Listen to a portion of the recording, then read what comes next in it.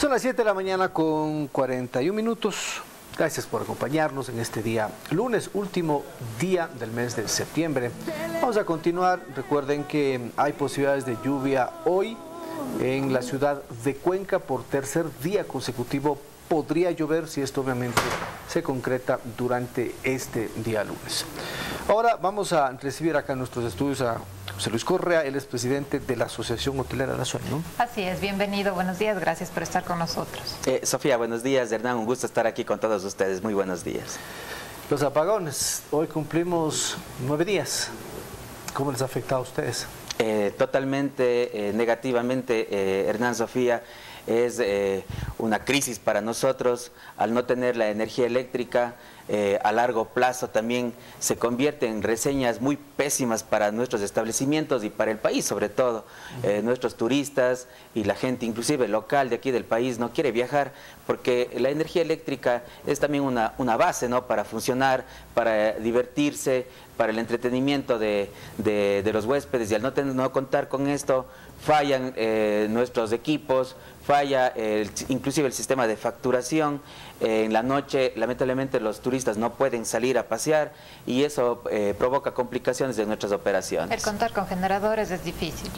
Eh, muy difícil para la mayoría de, de, establecimientos que se encuentran en el centro histórico y aparte los que han optado por conseguir estos generadores ya no los hay, hay muy limitados, incluso se han subido los precios, es por eso que se debe ya pensar en un plan a largo plazo de inclusive hasta de subsidios generadores porque un, un establecimiento hotelero no funciona solamente con de, dos, tres, cuatro, cinco focos, sino al contrario, algunos tienen ascensor, tienen varias habitaciones, del wifi, eh, todo eso está fallando y, y, el generador debe abastecer para, para todo ese tipo de circunstancias. ¿Cuánto ha bajado la ocupación?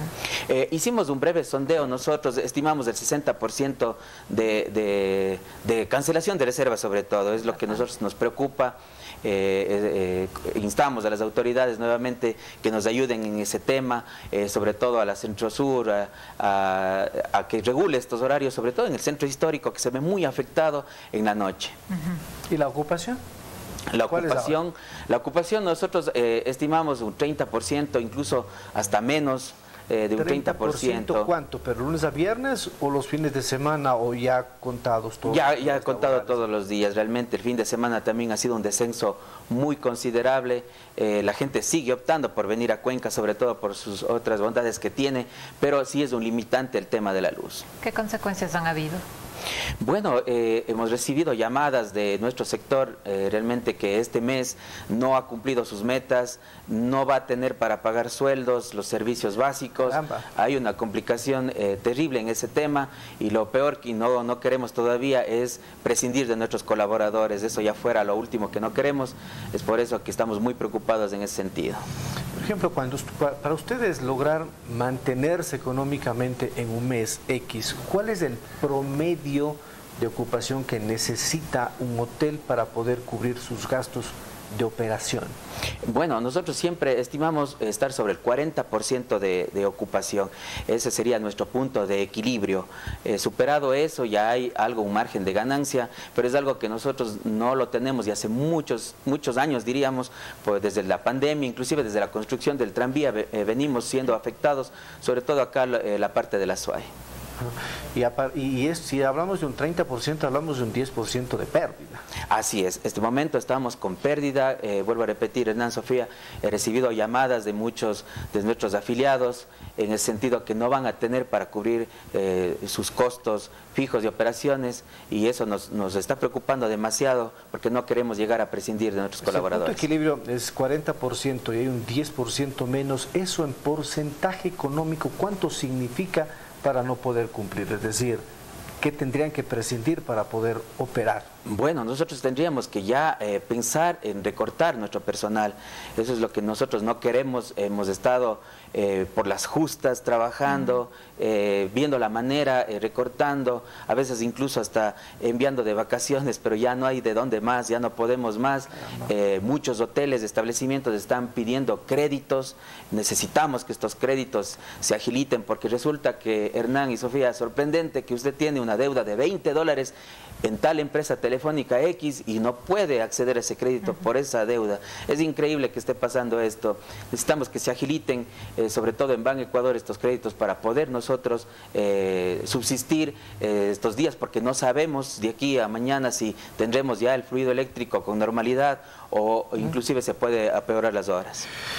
Ahora, en el tema de los cortes, ¿cuáles son los cortes que más les afectan a ustedes? Pregunto, ¿por qué? Porque cuando uno va por el centro histórico en la noche, no hay nadie. Todo está cerrado. Todo está en tinieblas. En tinieblas. Y usted, por ejemplo, pues como para ir a tomar un café. Y entiendo que también eso ha bajado la, la concurrencia. Entonces, los cortes están bien elaborados, hay que cambiarlos, reestructurarlos, ¿Qué es la recomendación que ustedes hacen? Eh, mire, Hernán, eh, ¿cuánto hemos venido trabajando, promocionando la vida nocturna mm. de la ciudad? Esta vida nocturna que lamentablemente ya no la tienen otras ciudades y es por eso que vienen acá hacia la ciudad de Cuenca, por ser una ciudad segura. Eh, los cortes, al menos al mediodía, nos afectan por el tema de almuerzos de nuestros huéspedes, de gente que viene a disfrutar, está afectando. Y sobre todo en la noche. muchas de las veces lo del centro histórico está viviendo cortes de 8 a 12 y es lo que es las horas pico en la que más se activa el turismo en el centro histórico de la ciudad. Necesitamos que este horario cambie, eh, hemos instado a las autoridades, hemos dicho, hemos solicitado que esto, este, este horario, sobre todo en el centro histórico, centro histórico perdón, cambie, se modifique para de esa manera nosotros poder atender la demanda que tenemos de turistas. Y lamentablemente es de lunes a domingo, los días en donde la gente, el fin de semana, por ejemplo, más acude al centro histórico, a los restaurantes, a, los lugares, ¿no? Así es, de, lunes a domingo eh, hemos, hemos estado preocupados, hemos eh, conversado con el Ministerio de Turismo, eh, con la Fundación de Turismo, estamos alertas, se viene ya un feriado, ¿qué va a pasar?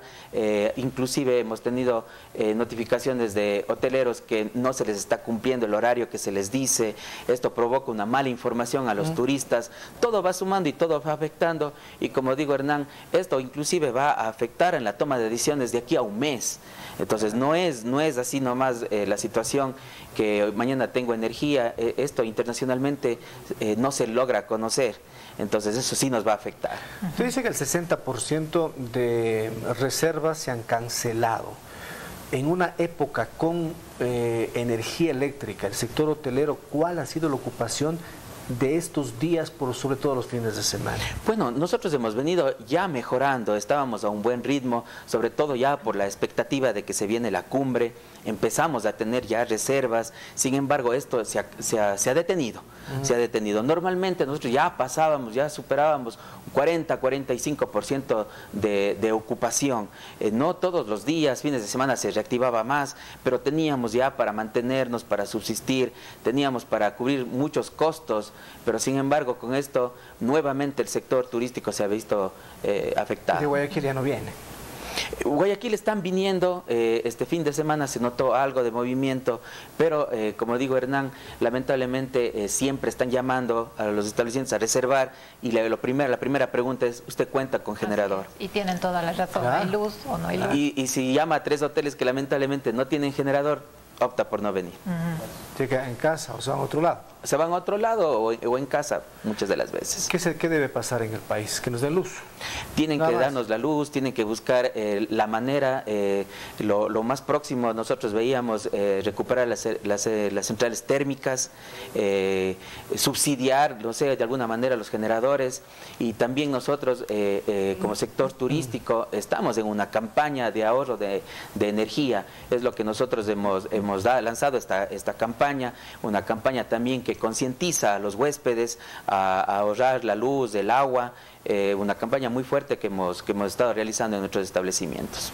¿Cuál es su opinión, cambiando un poco de tema del traslado de SELEC que ha dispuesto el presidente de la República a Quito? Bueno, la SELEC nunca debía de haberse ido, ¿no?